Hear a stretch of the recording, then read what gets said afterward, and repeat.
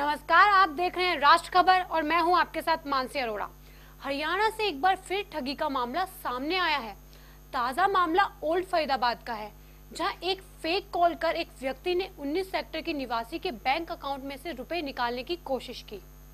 घटना फरीदाबाद के सेक्टर 19 के हाउस नंबर 174 की है।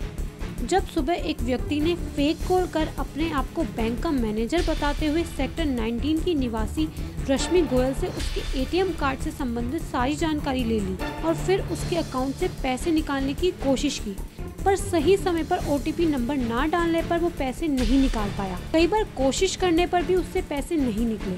आपको बता दें कि देश भर में आए दिन ऐसे चुका देने वाले मामले सामने आते रहते हैं। तो इसीलिए सरकार को बैंकों के साथ मिलकर ऐसा अभियान चलाना चाहिए जिससे लोगों को आए दिन होने वाले ऐसे फ्रॉडों से बचाया जा सके। और साथ ही इस बात से भी जागरूक करना चाहिए कि कोई भी नागरिक अपने अकाउंट से संबंधित जानकारी किसी को फ़ोन पर ना दे। इस खबर में सिर्फ़ इतना ही। देश, प्रदेश की और खबरों को जानने के लिए देखते रहिए राष्ट्र खबर। नमस्कार।